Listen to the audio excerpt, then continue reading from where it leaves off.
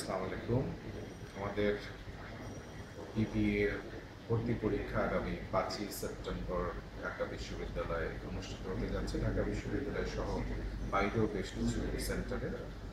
তো এবার আমাদের ভর্তি পরীক্ষায় প্রায় পঞ্চাশ হাজার পরীক্ষার্থী অংশগ্রহণ করবে।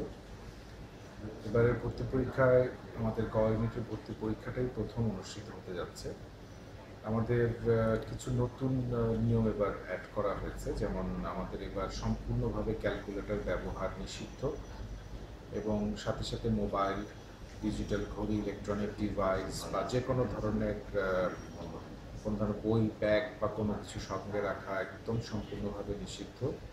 এবং এইবার আমরা একটু কঠোরভাবে এটা পালন করতে যাচ্ছি। কেউ যদি কোনো ধরনের মোবাইল বা কোনো ধরনের ওই টাইপের ডিভাইস সাথে রাখে আমরা তার বিরুদ্ধে আইনগত ব্যবস্থা নেওয়ার ব্যাপারে এবার ল এনফোর্সিং এজেন্সিকে বলে রেখেছি। কারণ এবার ধরে নেওয়া হবে যে কারোর সাথে যদি কোনো মোবাইল ফোন থাকে এবং জেনে শুনেই সে মোবাইল ফোনটা তার সাথে রাখে, তাহলে সেটা বোধহয় তার কোনো অসৎ উদ্দেশ্যেই রাখা। তাই এবার আমরা এই ব্যাপারে খুব কঠোর থাকব। তাছাড়াও আমাদের আগে যেসব নিয়ম কানুন ছিল সেগুলোই থাকছে। আমাদের ওএমআর ফর্ম ফিল আপ করতে হবে এবং সেখানে আমাদের একশোটা প্রশ্ন থাকবে। এবং পাস মার্ক আমরা ফর্টি এইট চল্লিশ পার্সেন্ট রেখেছি।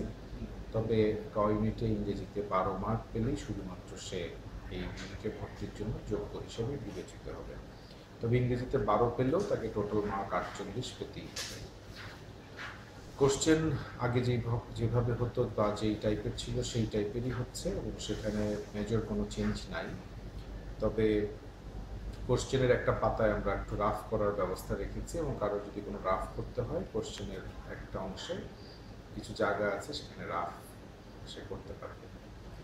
তবে ওএমআর ফর্ম ফিল আপ করার ব্যাপারে কোনো রকমের ঘষা মাজা কাটাকাটি বা কোনো ডুপ্লিকেশন যাতে না হয়, সেটা খুব ভালোভাবে খেয়াল রাখতে হবে।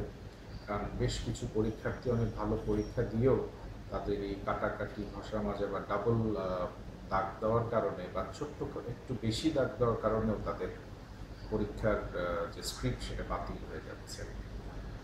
আর প্রত্যেকটি ভালো কারেক্ট উত্তরের জন্য ওয়ান পয়েন্ট টু এবং প্রত্যেকটি ভুল উত্তরের জন্য point two five point two four number কাটা যাবে।